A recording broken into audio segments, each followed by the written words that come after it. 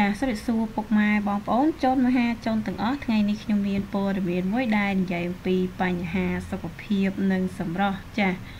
អាកបាំងធ្វើឲ្យស្បែកក្មេងជាងវ័យរបស់ជប៉ុនត្រូវបានលាតត្រដាងហើយចាចំពោះអ្នកដែលមានចាស់បញ្ហាស្បែកមុខមិនស្រស់ស្អាតអីគឺយើងមាននៅអាកបាំងធ្វើឲ្យស្បែកមុខយើងហ្នឹងគឺក្មេងជាងវ័យឲ្យស្រស់ស្អាតថែមទៀតផង តើអ្នកធ្លាប់បានឮការនិយាយគ្នា ពីសម្រស់នារីជនជាតិជប៉ុនដែរឬទេ គេថានារីជនជាតិជប៉ុនស្រស់ស្អាតតើភាកភាកស្រស់ស្អាតអឺមួយនេះមានតាំងពីកំណើតឬយ៉ាងណាចា៎ភាពស្រស់ស្អាតមិនមែនសុទ្ធតែកើតឡើងមកពីកំណត់ទាំងអស់នោះទេ វាអាស្រ័យលើការថែរក្សារបស់គេផងដែរចង់ដឹងថាវិធីសាស្ត្រ មួយចាស់មួយនេះ មាន គ្រឿងផ្សំអ្វីខ្លះសូម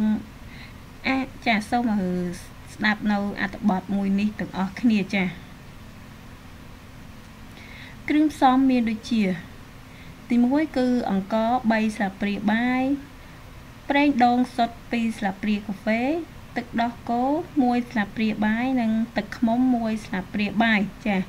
គឺគ្រឿងផ្សំគឺយើងមានតែ4មុខតែប៉ុណ្ណោះចា៎ សុទ្ធតែជា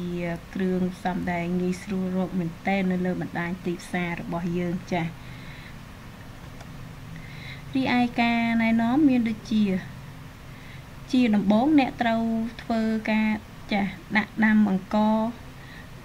ដែលអ្នកមាននឹងឲ្យរីកជាមុនសិនចាស់ដើម្បីងាយស្រួលក្នុងការប្រើប្រាស់តែអ្នកមិនត្រូវចាក់ទឹករបស់វាចោលទេចាស់ គឺទឹកអង្ករយើងហ្នឹងគឺយើងពេលយើងដាក់មួយអង្ករហ្នឹងហើយគឺយើងអត់ចោលអាទឹកអង្ករយើងហ្នឹងការចម្អិនមួយនេះមានរយៈពេលប្រហែលជា10ទៅ15នាទីចាស់គឺយើងចម្អិនអង្កររបស់យើងហ្នឹងរយៈពេល10ទៅ15នាទីក្រោយពីចម្អិនអាកចាស់អង្កររបស់អ្នករួចហើយអ្នកត្រូវស្រង់វាចេញដោយរក្សាទឹកចាស់គឺរក្សាទឹករបស់អង្ករយើងហ្នឹងគឺរក្សាទុក និងកាករបស់វាហ្នឹងឲ្យដាច់ដោយឡែកពីគ្នា ចាស់គឺទឹកគឺយើងដាក់ផ្សេងហើយនឹងកាកអង្កររបស់យើងហ្នឹងគឺយើងដាក់ផ្សេងចាស់សុំលាយគ្រឿងផ្សំដែលនៅសល់ជាមួយនឹងអង្កររបស់អ្នកចាគ្រឿងផ្សំ3មុខទៀតដែលនៅសល់នោះគឺយើងយកមកលាយជាមួយនឹងអង្កររបស់យើង ក្នុងកូនចានស្អាតមួយហើយចាបន្តមកទៀតអឺយើងធ្វើ ការកូរសពចាកូរបញ្ចូលគ្នាឲ្យបានសពល្អគ្រឿងផ្សំរបស់យើងនៅសល់3មុខទៀតហ្នឹងគឺយើងកូរជាមួយនឹងអង្កររបស់យើងហ្នឹងរីឯការប្រើប្រាស់មានដូចជានៅមុនពេលប្រើប្រាស់វិធីសាស្ត្រមួយនេះអ្នកត្រូវលាងសម្អាតផ្ទៃមុខនិងករបស់អ្នកឲ្យបានស្អាតជាមុនសិនរួចប្រើកន្សែងស្អាតមួយមកជូតចាស់សម្ងួត តែពីយើងលាងមុខយើងចេញហើយយើងប្រើកន្សែងតុនមួយយកមកជូតនៅលើជូតឲ្យលើផ្ទៃមុខរបស់យើងហ្នឹងជូតឲ្យសម្ងួតចាស់សុំលាយលបាយម៉ាស់ធម្មជាតិមួយនេះចាស់លាបនៅលើផ្ទៃមុខនិងករបស់លោកអ្នកចាស់គឺលបាយដែលយើងលាយនៅខាងលើរួចហើយហ្នឹងគឺយើងយកមកលាបនៅលើផ្ទៃមុខរបស់យើងនិងករបស់យើងសូមរក្សាទុកម៉ាស់ធម្មជាតិមួយនេះ លើផ្ទៃមុខរបស់លោកអ្នករហូតដល់លបាយមួយនោះស្ងួតចាស់គឺឲ្យវាស្ងួតនៅលើផ្ទៃមុខរបស់យើងហ្នឹងបន្ទាប់មកយើងចាប់ផ្ដើមលាងសម្អាតផ្ទៃមុខរបស់យើងនឹងជាមួយនឹងទឹកបាយគឺអាទឹកបាយយើងដាំមកយើងលាងជាមួយទឹកបាយហ្នឹងគេទុកបាយតែទឹកបាយហ្នឹងយើងទុកឲ្យត្រជាក់ចាស់ហើយចាំយកមកលាងជាមួយនឹង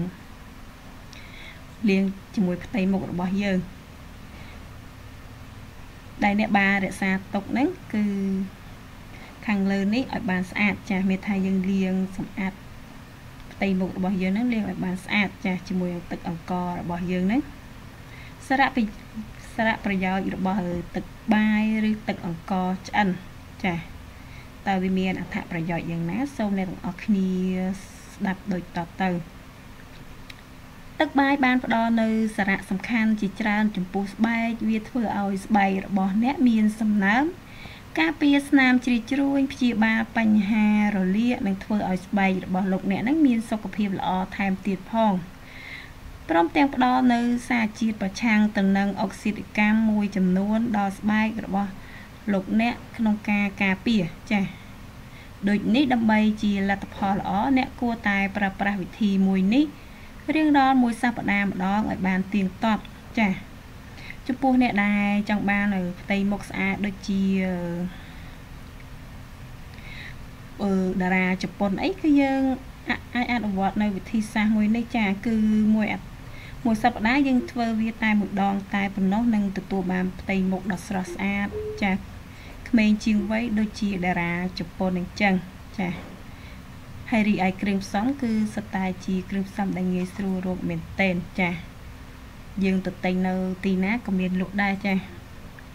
ចាប់ពេលនេះវីដេអូរបស់ខ្ញុំសូមបញ្ចប់ត្រឹមនេះសូមអរគុណពុកម៉ែបងប្អូន សូមជម្រាបលា